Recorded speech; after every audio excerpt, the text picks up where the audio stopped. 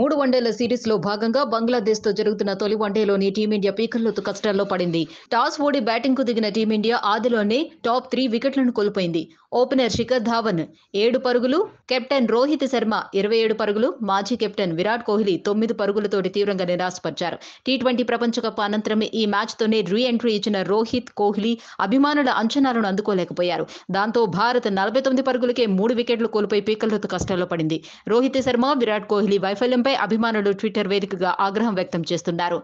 రోహిత్ శర్మ విరాట్ కోహ్లీ ఒకే ఓవర్లోని అవుట్ అవడం అభిమానులను మరింత అసంతృప్తికి గురిచేస్తుంది పవర్ ప్లే అనంతరం షకీబ్ అల్ హసన్ వేసిన పదకొండవ ఓవర్లోని ఈ ఇద్దరు బంతి వ్యవధిలోనే వెనుదిరిగారు. ముందుగా షకీబ్ వేసిన అద్భుత బంతికి రోహిత్ క్లీన్ బౌల్డ్ అవ్వగా తర్వాత లిటన్ దాస్ కళ్ళు చెదిరే క్యాచ్కు విరాట్ పెవిలియన్ బాట్ పట్టాడు.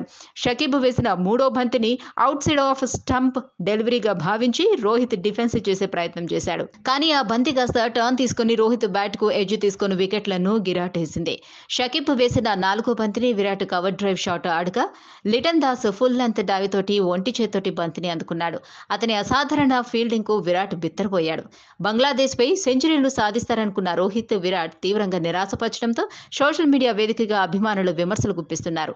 ఫన్నీ మీమ్స్తో ఓ ఆట ఆడుకుంటున్నారు. మరోసారి భారత ఆటగాళ్ళకు బంగ్లాదేశ్ ఫ్యాన్స్ గుండ్లు కొట్టించడం ఖాయమని హెచ్చరిస్తున్నారు. Please subscribe Pragna Media. Please like, share, subscribe to Pragna Media. Pragna Media, please do like, share, and subscribe. Please subscribe to Pragna Media. Please like, share, and comment if you like the video. Pragna Media.